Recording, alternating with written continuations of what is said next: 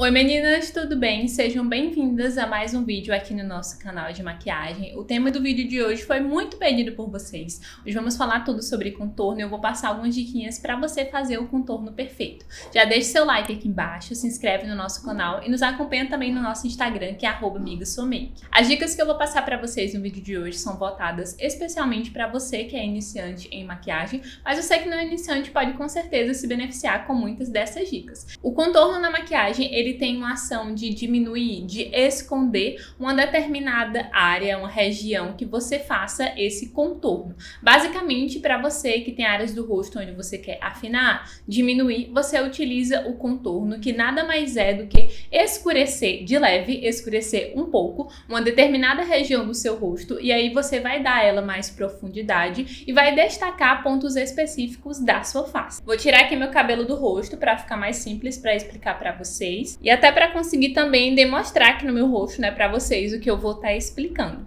O contorno, ele não tem uma regra geral, não tem um segredo assim, uma fórmula mágica, digamos assim, de como você fazer contorno, porque o contorno ele é individual e vai depender diretamente, né, o que vai interferir na forma do contorno, na forma de fazer, é o formato do seu rosto. Existem os formatos mais comuns, como o rosto arredondado, o rosto mais triangular. No caso do meu rosto, ele é um rosto oval, eu tenho essa parte aqui mais larga, né, principalmente aqui no centro do rosto, e depois ele vai afinando. O que acontece é que ao longo do tempo, principalmente aqui no YouTube, se difundiram muitas técnicas de contorno, especialmente a técnica do 3, que para quem não conhece é aquela que você faz o formato de 3 assim, ó, no rosto. É uma forma básica para você começar, para iniciar a fazer o contorno no rosto, mas isso não funciona para todas as pessoas e é aí que tá o grande problema. O ideal é você analisar o formato do seu rosto e perceber onde você quer destacar, onde você quer diminuir e assim você adapta o contorno para o seu formato de rosto.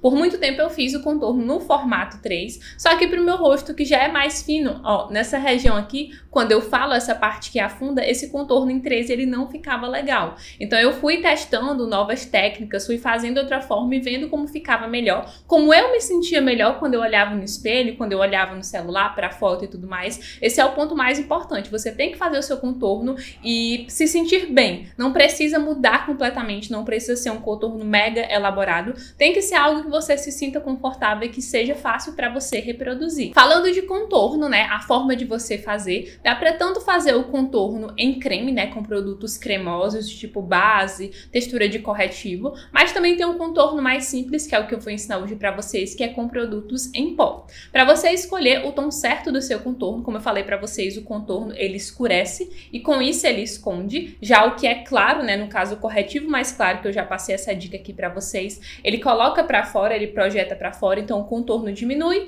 e o mais claro ele aumenta, né, ele aproxima. E aí no caso você tem que escolher um tom de pó ou no caso creme cremoso, se você for preferir. Então você tem que escolher um contorno que não seja muito mais escuro do que o tom da sua pele, da sua base. Tem que ser no máximo um a dois tons mais escuro. Assim como para o corretivo, que a gente usa um a dois tons mais claro, no contorno a gente usa um a dois tons mais escuro. E outra dica muito importante é que os contornos eles variam de tom. Eu trouxe até aqui para demonstrar para vocês, porque o contorno ele pode ter um fundo mais acinzentado ou então um fundo mais quente. O mais comum, é que mais funciona para a maioria das pessoas, é o fundo mais quente, ó.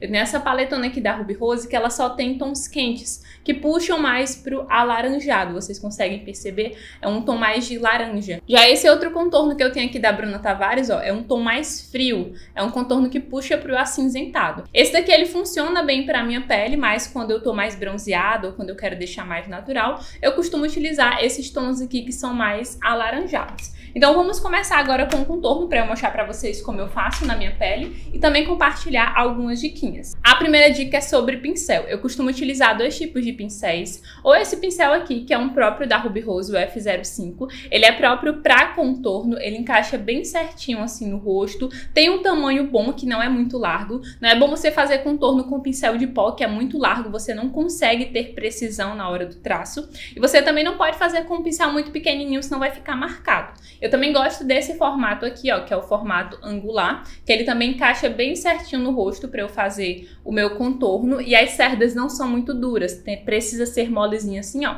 para ser mais fácil de esfumar. Esse aqui eu uso no rosto e aí para fazer o contorno do meu nariz, eu gosto de usar pincel de esfumar. Pincéis assim pequenininhos. Esse aqui é bem velhinho que eu tenho, ó, mas ele é bem pequenininho, então consigo fazer o contorno bem preciso e esse daqui também que é um pincelzinho também para esfumar, eles têm quase o mesmo formato.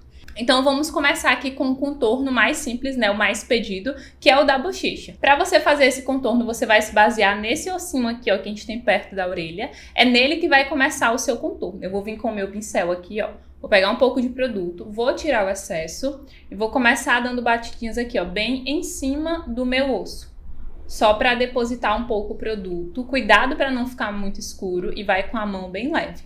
As maquiadoras sempre recomendam você deixar uma distância de dois dedos da boca você fazer em direção à boca. No caso do meu, ó, o meu rosto ele já afunda aqui. Então eu vou seguir o formato natural do meu rosto. Isso é muito importante também. Tô fazendo bem de leve agora, ó, em movimentos de vai e vem. E eu vou me aproximar só um pouquinho aqui, ó, da boca. Cuidado para não subir muito para a bochecha.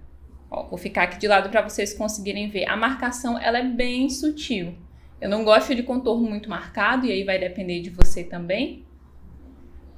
E eu vou intensificar aqui a cor, ó, até ficar do tom que eu gosto, que é justamente onde eu falo que já afunda, eu só fiz evidenciar mesmo essa marcação que eu tenho, sempre nesse sentido, para levantar o rosto. Não afinou tanto o meu rosto, mas deu essa marcada sutil. Agora vamos fazer a testa, tá? Vou fazer aqui um lado com vocês. A testa vai depender muito do tamanho, né, da sua testa, se te incomoda e tudo mais. Tem pessoas que gostam de fazer mais aqui, ó, próximo da raiz do cabelo, que é o meu caso. Eu não acho a minha testa tão grande, mas eu gosto de diminuir essa parte aqui, ó, pra deixar ela um pouco menor. Então eu aplico nessa região aqui, ó, concentrando, também onde tem o ossinho. E aí só de leve eu vou unindo com esse daqui, ó, que é justamente o 3. Mas de forma bem sutil, para não ficar muito marcado. Lado sem e o lado com contorno. Tá vendo como meu rosto, ele, a maçã já deu uma saltada. Esse lado tá bem mais realçado, ó, do que esse lado aqui, que é uma tela em branco, né, sem contorno. E aí, no caso do maxilar, tem pessoas que gostam de contornar para diminuir principalmente a papada nessa região aqui do rosto, ou para quem não tem um rosto tão angulado. No meu caso, meu rosto já é fino. Então, não gosto de passar muito aqui, porque senão vai afinar ainda mais, né, vai diminuir ainda mais. Eu gosto de passar aqui no meu queixo, ó, porque aí dá uma diminuída, sabe? Dá como se fosse uma apertada aqui. E aí o meu queixo ele diminui, meu rosto ele fica menos oval. E aí só o que sobra eu passo aqui, ó, embaixo do maxilar. Só de leve, mas não tanto. Lado com contorno e lado sem. Agora vamos fazer aqui o nariz para eu ensinar para vocês um truquezinho básico para você fazer o nariz. Antes, eu corrigi o meu nariz muito errado, porque eu achava que a forma correta era eu corrigir aqui do lado, ó. Eu corrigi assim, e isso alargava mais o meu nariz. Eu aprendi que a forma correta é você subir um pouquinho mais, ó. Tá vendo que o meu nariz, ele naturalmente já tem essa sombra aqui? Então, eu vou subir rente a ela, começando aqui, ó, do finzinho da sobrancelha, só com um pouquinho de produto, ó. Vou fazendo o traço mais em cima. Vocês estão vendo, ó? Tá um pouco mais em cima do que esse lado aqui. E eu tô aplicando aqui em movimentos de vai e volta. Ele fica mais marcadinho assim, mas é isso que vai achatar o meu nariz. Aqui na pontinha eu gosto de subir um pouco mais para deixar ainda menor. E depois eu venho com o mesmo pincelzinho que eu já fiz o contorno, ó.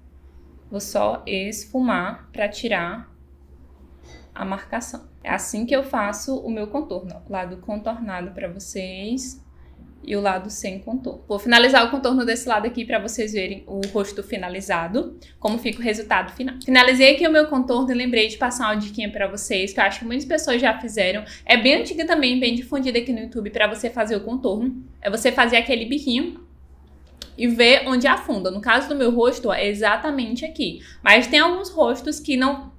Mas tem. Mas tem caso de alguns formatos de rosto que isso não vai combinar. Então sempre segue essa linha aqui do ossinho, ó.